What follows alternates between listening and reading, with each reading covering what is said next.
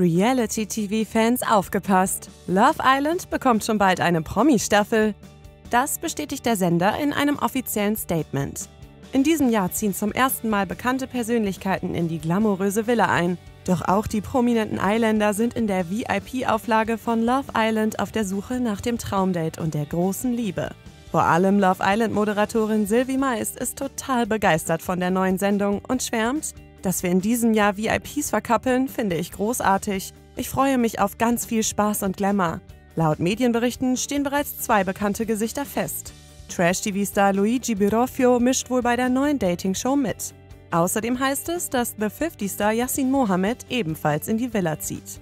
Ob das stimmt und wer sonst mit von der Partie ist, bleibt aber noch offen.